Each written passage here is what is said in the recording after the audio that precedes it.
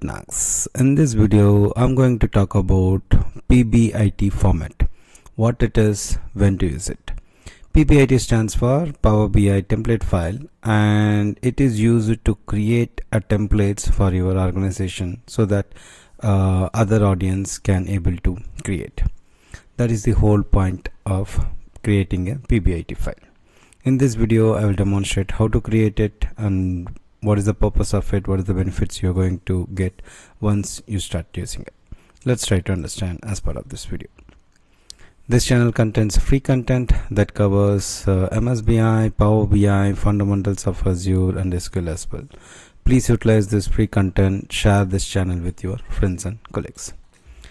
Now, let's see our uh, one of our dashboard or the report, right, that I have created.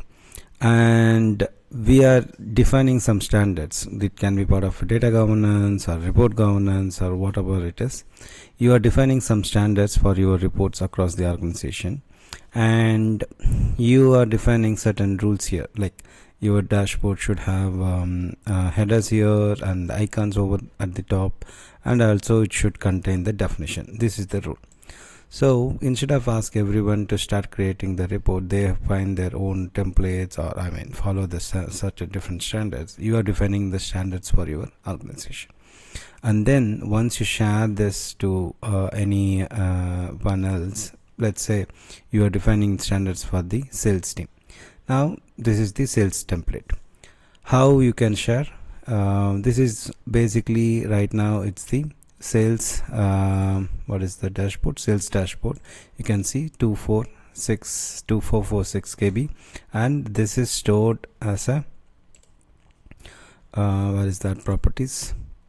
Pbix file. That is the typical file. Now i want to save this as a template uh, so that this can be shared to the sales department so that they can while they start creating a new reports they will follow this templates. Now there are two ways you can save it as a template. You can see here drop down and you can use pbit so that this will be stored uh, under uh, pbit here.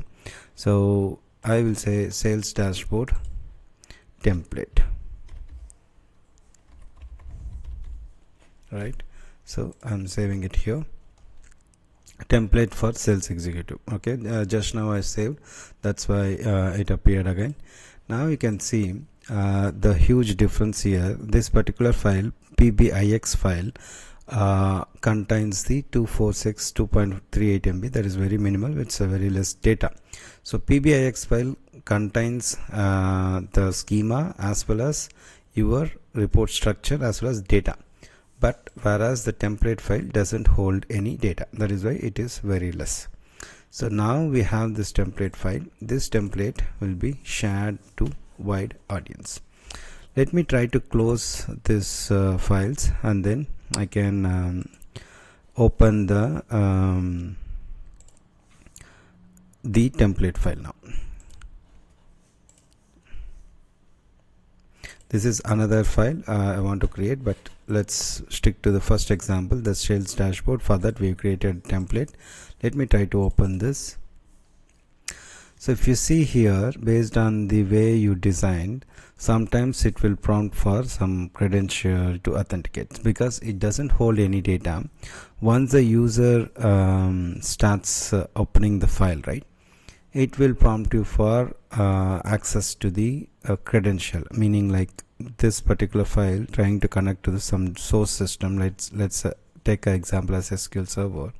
So it will ask uh, for the credential as well so so template file once they created you need to have the user who is going to use uh, should also have to have access to this database as well. Then only it will open. I think there is some issue here. Let me take the server name from here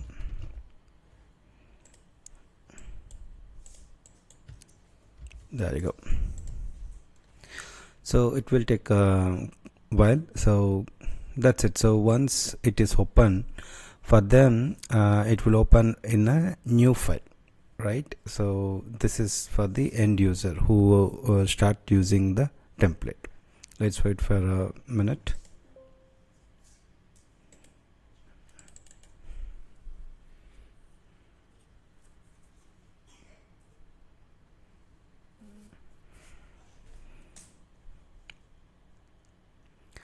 there you go.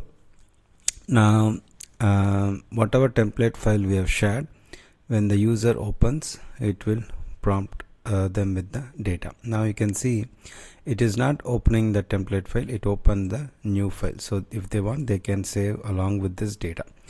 So in this way you can easily share your uh, report templates. So all members in your organization you can have a similar templated reports if you like this video, hit the thumbs up button and comment below for queries. And do remember that data is your